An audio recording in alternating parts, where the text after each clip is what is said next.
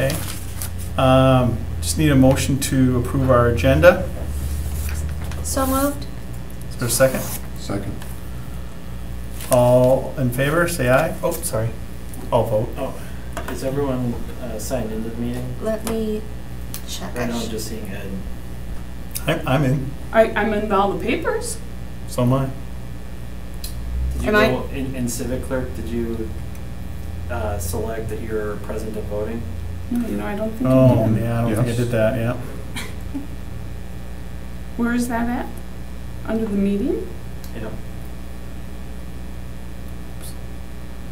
No, mine goes right to the special meeting. It doesn't, like, I, I don't have, for the last meeting, I it know, when I has the first green signed in, box it that was there, says leave so- meeting, Yeah, I don't- I don't, hmm. Okay.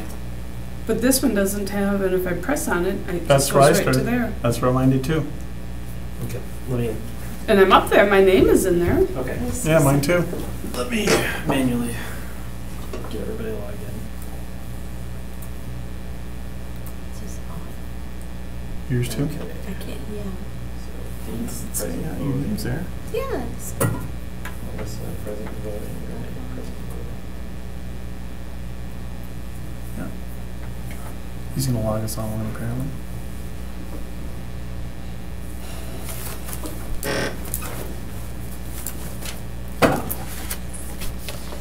Okay, so the motion to approve the agenda was made by Melissa and seconded by Ed. Yep. yes.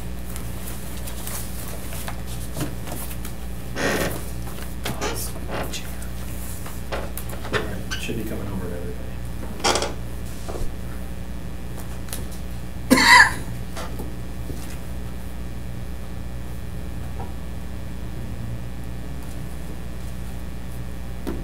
Nothing yet.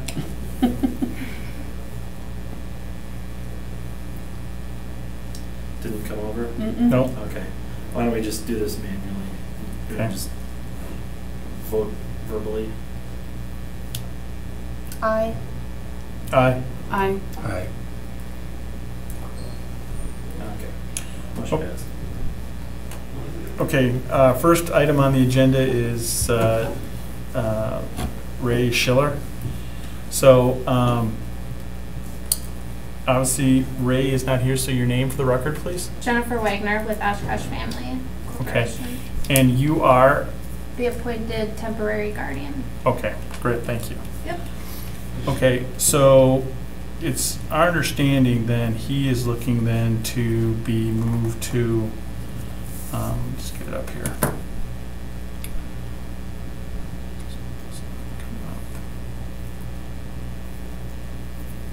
four thirty Clay, I think it is. So fourth, because mine's not coming up here. Yeah, you know what? I've got blank pages also. Oh, here it goes. Yep, four thirty South Clay. 430 South Clay Street, okay. So, um, and that is a nursing home, correct? I believe so. I just got him on Thursday, so I don't know much about him at all. Okay. Do, you- do you know if, if he, um, um, is both mentally and physically incapacitated? Um, Aurora sent me notes. They said that they believe he most likely has dementia and is pretty much progressing pretty fast. Um, and he is still a two-on-two assist with them. What? A follow. What does that full-time. mean? Um, two uh, staff members assist him with cares, walking, getting up, Okay. pretty much So basically, without them, he would, we'd be basically be bedridden. Is that correct? correct. Okay. So in terms of the, the facility, uh, what, what precautions are there in the facility in terms of him being able to get out, or is it all locked doors both internally and externally, do you know? I have no clue. You have no clue? No, I never even heard of this facility before. Okay. And right now, he's at Aurora, and they just, they want to move him to this location. Correct. From my understanding, they called like 55 different nursing homes and nobody would accept him because of being a sex offender. And they got in contact with this one and they accepted him. it's just a matter of getting it passed. Do you know how long he's expected to stay there? I do not know. Sorry, I don't know, I don't know nothing. You don't know that I much, got huh? him and they told me I had to come to this meeting today, so. Okay. Go ahead. I was thinking that we should call the Santa Maria Nursing Home. This my, that was my thought that was kind of running through my head, just in terms of asking what the facility's like, what they expect from this individual, how they're gonna monitor him. Hopefully they have more information. Okay. Um, I have my cell phone, so I can use to call us. Yeah, and we've got a speakerphone over here. I don't know if there, is there a phone up there at all? Mm-mm. No. Okay. Do you have the phone number for them? I have, yeah, it's four, it's nine two oh, four three two, five two three one. While, while you're dialing, would it help you to give, take five, ten minutes just to review the file? They didn't really, I don't have much, it's just from the notes from Aurora. Otherwise, the courts don't give me anything. This is all Aurora's notes on his medical. Okay. Like, I don't even know what his sex crime is, so. Is that typical that they won't give you all that information? Yes. And they want you to be the, Guardian, without having all the information? correct. That's when we have to do our research. And We meet with the client, but I only had a day. Right, of course. So- Okay. Okay. What was the phone number again? Nine two zero? Four three two five two three one. And I would ask for the admitting administrator, probably. How are, how are they going to hear you guys? That's why I was gonna say, I can use my cell phone, I can put it on speaker. Okay, if- I mean, if you prefer that, At least we can ask questions, I think that's probably the best way to go. There isn't a hookup here, is there? Let me see plugins. No, I don't see We one. could probably put the phone on. yeah, I mean, I could get the phone up to the bench here. Let's, let's see. Uh, That's a pass through. That's fine, Hey, let me just put it on my cell phone, it's, it's it's not a big deal.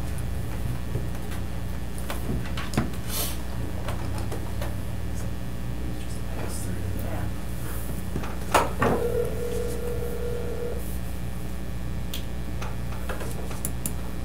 Santa Maria, this is Terry. How may I help you? Hi Terry, this is uh, Dean uh, Gerondale, and I'm actually with uh, the Green Bay uh, Sex Offender Registry Board. And we, Ah, yeah, thank you you. want to talk to Mary, don't you? I, well, it's in regards to Mr. Schiller? Yes, Yes, if I could, if that's the person? sure. Okay, hang on. Sounds like you were expected. This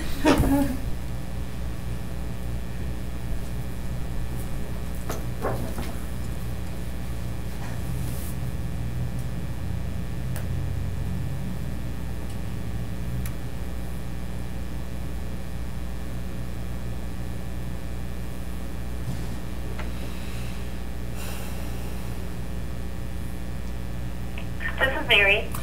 Hi Mary, this is uh, Dean uh, with the Green Bay Sexual Offenders Residency Board. And we're just uh, going over uh, Mr. Schiller's uh, application to move to uh, your facility. We just got a, a few questions for you, if that's all right. Oh, Sure.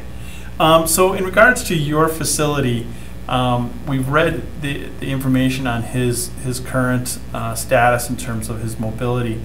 Um, but what other things do you have at your facility to make sure that he's that he can't, you know, get out of his room or, or get out out of the out of the facility? Do you have like indoor locks as We well as outdoor locks? Our doors are secured Okay. on, on the floor, and yeah, he, he'd be on third floor. Okay. And we have a full staff 24 7. Okay. How many people are on staff on each floor?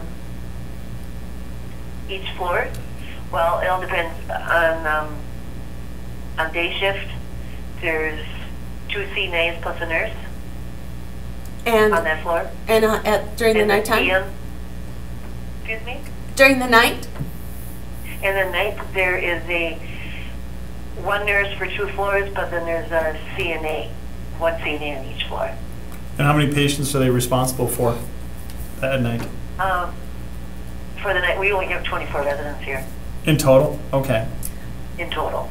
And so at night, so on that, on the, on the, the CNA, how many people is she looking at on that one floor at night?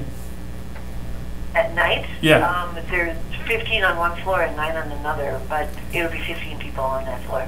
Okay, okay. And what is your policy or procedure, or what your protocol regarding um, patients who um, attempt to leave the facility? What is the Um, CNA supposed to do?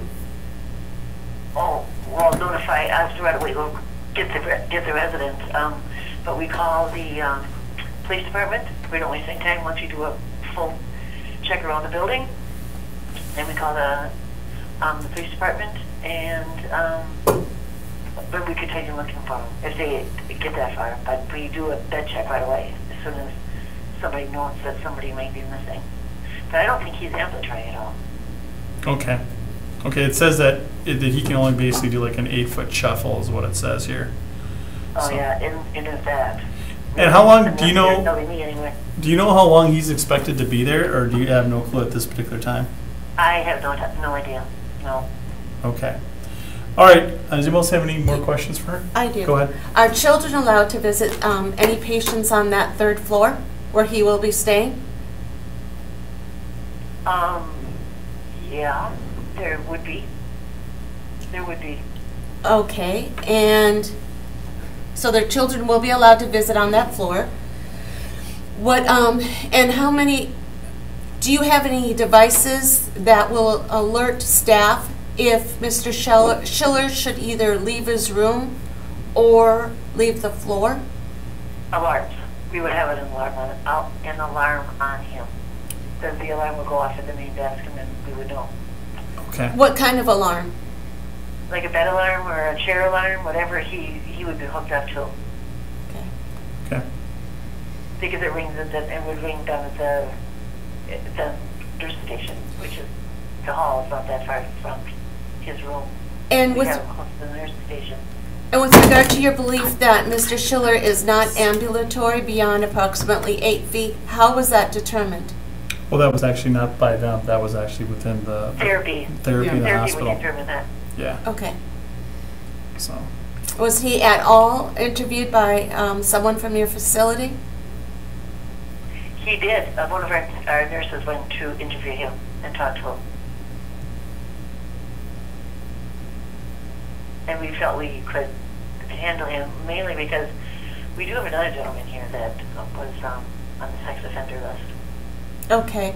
And based on, But I have, I'm sorry, but I have to say that if, if your policy with him is, you, he can't, you know, no children can, we have children come into the building to sing and stuff too.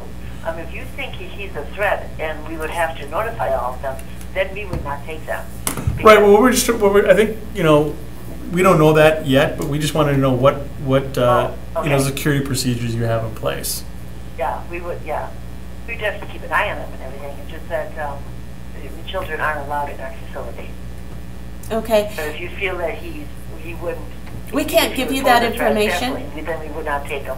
we can't give you any recommendations. I, I'm just trying to find out what your policies and procedures are. Okay, okay. Okay. Well, because when I called, called initially, um, they said that it was up to the Green Bay Police Department to determine that if I have to notify the neighbors, because there is a school in the area, or whatnot, and they said that's what this hearing was for. Um, so that's why we, we don't went along with the hearing, of course, we thought you were gonna tell us something. Okay, do do you want to tell him? the- Well, sure, I mean, ultimately, if, if we allow him to, to stay there, then you'd get a letter from us indicating as such, that, you know, that he can stay at that facility. If not, then we would send you, we would send you a denial, which mean then you couldn't, you couldn't house him there. Correct, okay, that'd be good. That'd be, that'd be fine with us. And based upon your understanding or the interview by the nurse who, in- uh, from your facility that interviewed him, did she, did anybody give an estimate or expected length of stay? no, no. Is your facility in, in terms of, you know, because he's been, a you know, he's got a court, a court-appointed uh, person, and apparently he's got dementia. Is, is the facility set up for people with patients with dementia at this point? Oh, yes. Oh, we Okay. have, most of our residents have dementia. Okay, okay. So this could be, this could be a long time in terms of this location, basically, based It upon, could be, yes, yes. all right. Is he there for re- rehabilitation or because of the dementia? Um, I think both, both.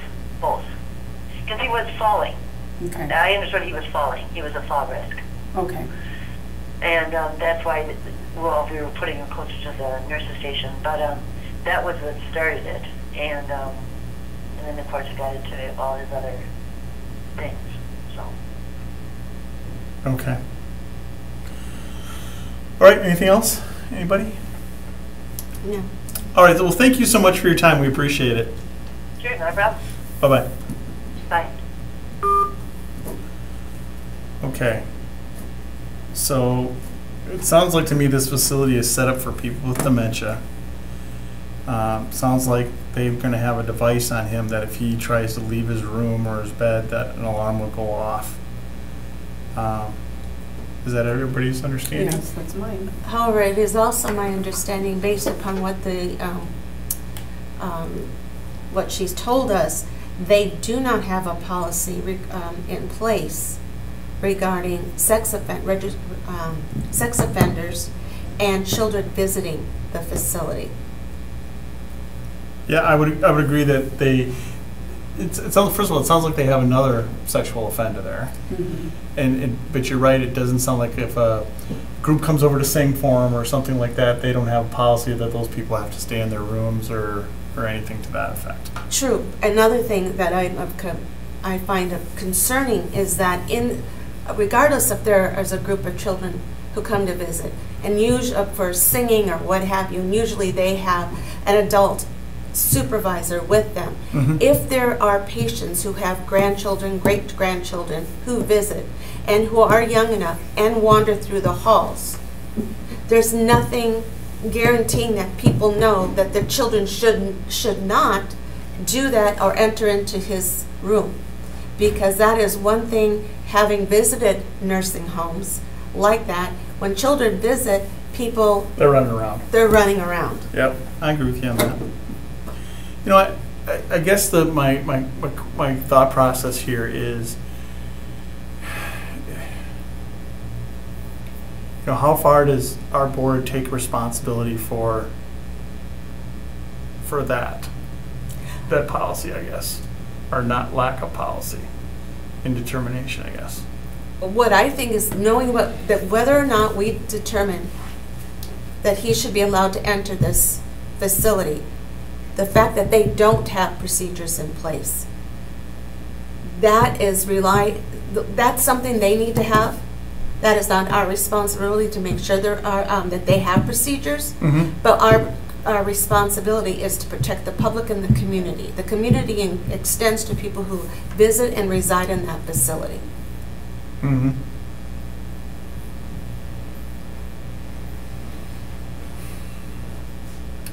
So a question I have for you Mm-hmm. then. So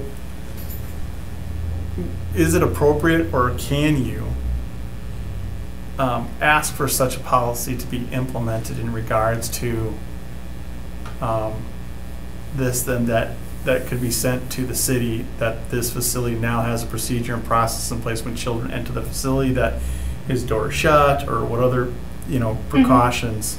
Yeah, I can, for him, have the facility when there's children visitors, have them put him in his room, shut the door.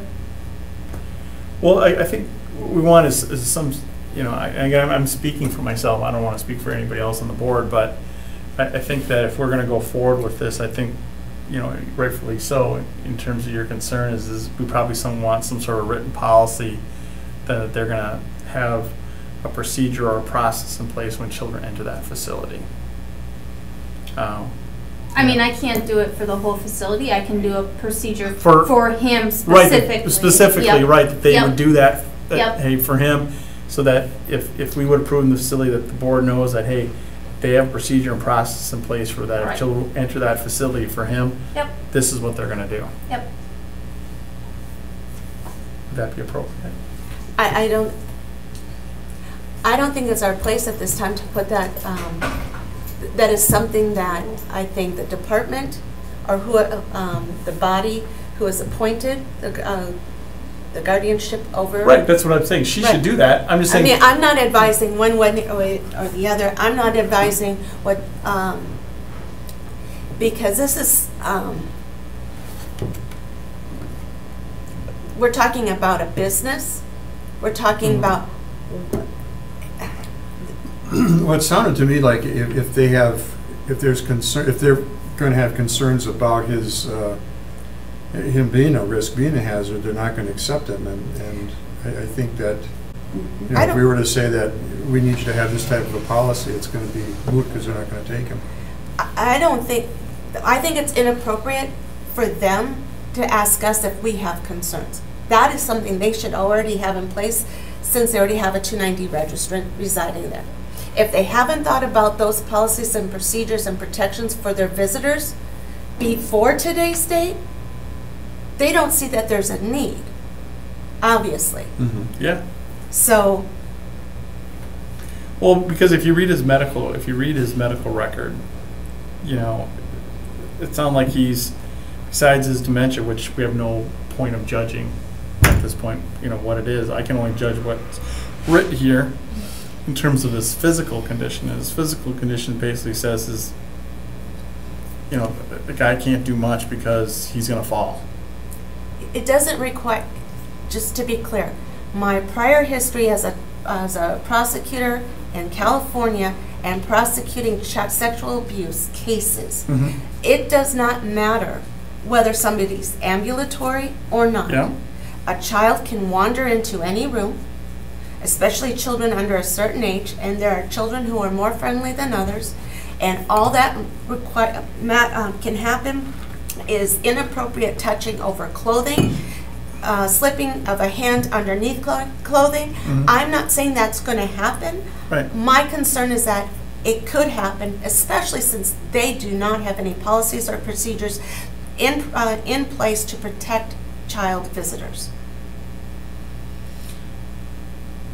Yep.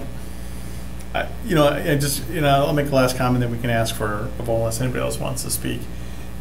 To me, this is, this is much like when we ask um, uh, another sexual offender, saying, hey, you gotta continue your classes, you need to come back and you need to do this to make sure that we believe that ultimately you're you're safe to the public. In this particular case, because this individual is not mentally competent, asking for them to have a written procedure in regards to him seems no different than what we would ask another sexual offender to do in terms of being able to prove that they're, you know, not at risk. I don't think we can say that. We don't have the paperwork that specifically determines why um, a guardian or uh, was was uh, necessary. Was it his physical, mental? We don't even know what he did. We don't even know um, child enticement. would- child enti- uh, buried within the context, they were ch- young children. And Did I- you see that? I, I didn't read that. Yeah, I was having a hard time, I saw something going back to nineteen eighty, I saw a date, but I, or maybe it was other, I, I'm, I'm not sure. But regardless, what matters is we're looking at children. Say we don't know what age. We have to protect public, the public, and that includes children who go to that facility. My view, and it's my personal view, every, obviously, anybody can vote any way they deem appropriate. Um, my vote is not necessary. My concern is that there's no, uh, system in place or to protect any child.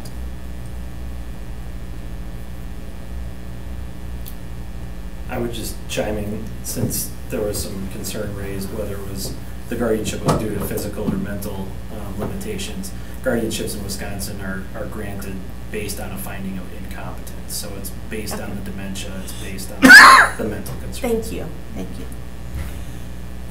Okay. Any, any other comments anybody else has? Okay, I'm gonna, you know, I'm, I'm gonna make a motion in regards to Mr. Schiller. Um, I'm gonna make a motion to approve Mr. Schiller moving to four thirty, um, South Clay. South South Clay. Clay Street, pending, um, a written procedure, uh, by the facility in regards to when children enter that facility. That he will be segregated and, and, uh, not be allowed to move from a particular location. If they don't wanna do that, then my opinion is, is then, if they don't do it, then he's not eligible to move there. Um, it- Just a point of concern with the language used. If you're to approve pending, that means they can move him today if necess, if that's what they choose to do. No, it, they'd have to have the written procedure to us prior to it, to him moving there. Okay, so then that, that, then that's not approval, not approving his moving unless or until they provide us with the um, policies, written policies and pr- uh, procedures. So, okay, I guess for clarification, um, I'd approve Mr. Schiller to live at four hundred, uh, East Irving, No, South Clay. South Clay, South Clay. Um, At the point in which we receive a written procedure from the facility indicating how he will be segregated and have controls in place to assure no children, he will have any interaction with children. Can I just ask how soon did you think he was going to move? From my understanding, the hospital would like him out ASAP, but if we need to do the procedure, I can get that and then get it to you guys. And then it just go- goes to you and then that's, So that's, that's the motion. So just, just to make sure, I understand the, the wording of the motion um, for the minutes, the, it's a motion to approve uh, upon receipt of the, the written procedure by the nursing home segregating um, Mr. Schiller when children are present in the, in the facility or on his floor or how, what- what's your? In the facility.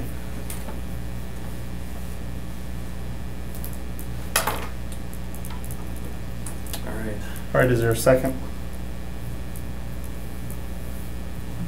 I'll second.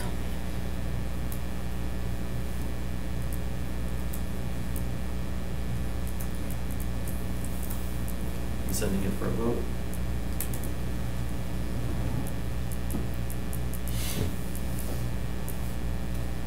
Did it not pop up on the tablets? No. No. All right, I see that um, Do you have Ed, a? Ed was able to vote. I, I can, I can do voice votes. Okay. Um, Dean, how do you vote on the motion? Aye. Melissa? No. Renee? I, Uh, motion fails on a two to two vote. I voted no. Just- Oh, okay. All right, um, does anybody else want to make any other motion? All right, pro- I uh, move uh, that we deny Mr. Schiller's application to move to the Clay Street Nursing Home. Is there a second? Second that.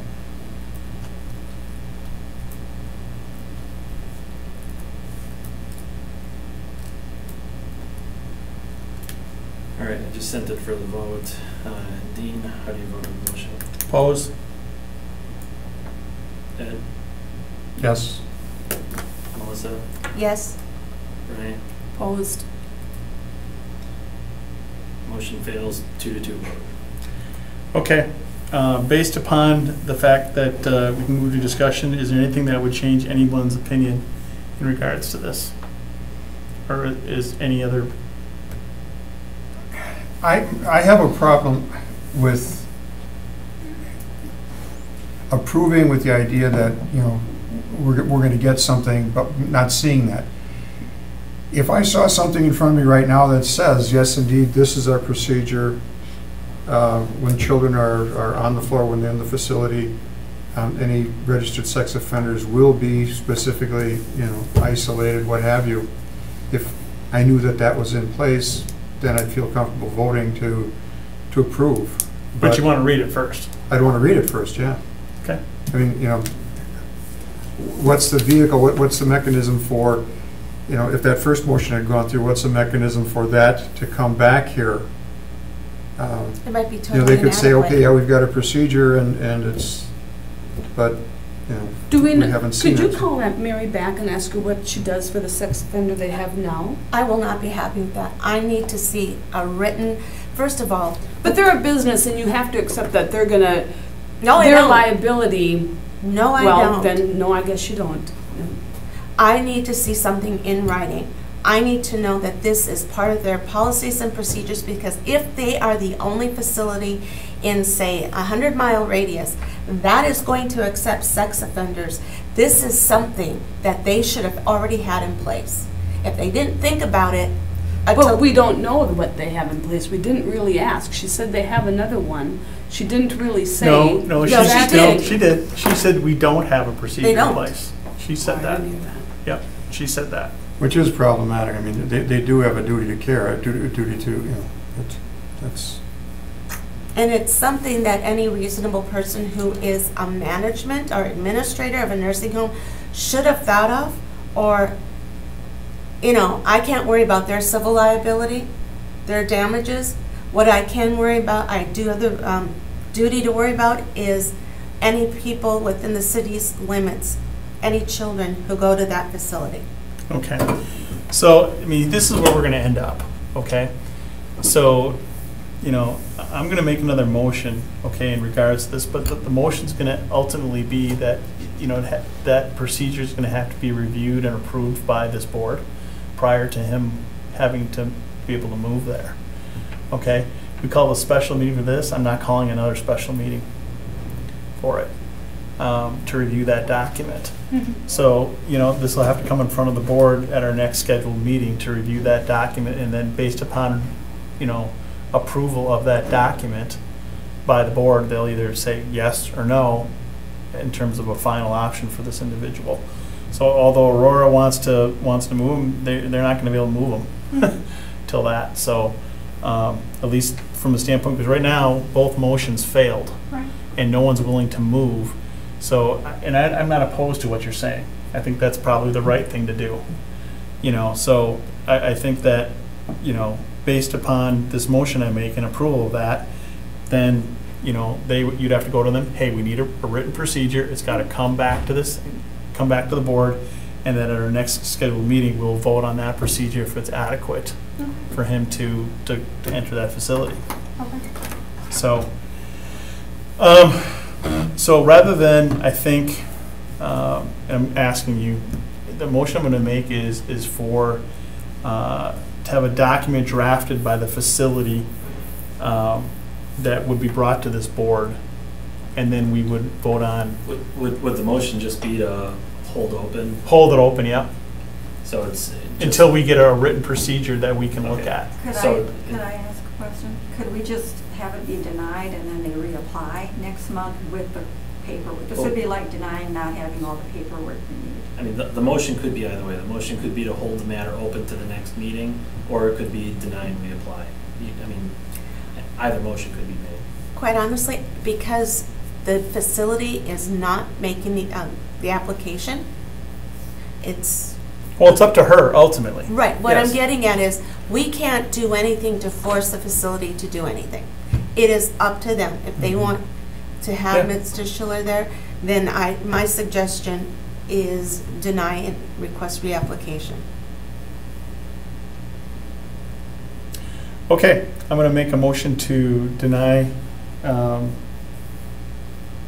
Mr. Schiller, uh, to move to four thirty, uh, South Clay Street. Is there a second? Seconded.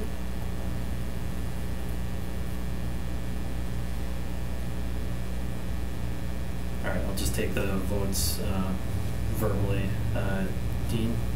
Yeah. Ed? hi. Melissa? Aye. Renee? Nay. Okay, Motion passes three to one. okay, so here's, here's what you need to do. Mhm. Okay, so y- you need to just, he's got an application here, and I don't- I don't know if Mary, if you can get that to her, because she's the guardian now, the application that was originally submitted. And we just need to have that resubmitted to the city, Okay, along with that written policy. sure. And then at the next scheduled meeting, you just gotta show up again, and we can put you on the agenda, and, and we'll go from there. Okay, sounds good. Thank you, everyone. Thank you. Is there any other business for the board? If not, I'll make a motion to adjourn. Um, Oh, Is there a, a motion regarding the next meeting date? Uh, next meeting is Wednesday, August 8th. Seconded. Um, uh, Is there anyone who's voting against that? No. No. Okay, I'll mark, um, I'll vote in front of.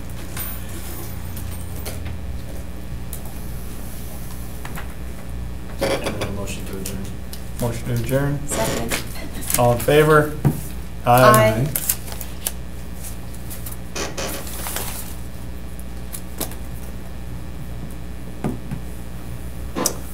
So complete? Yes.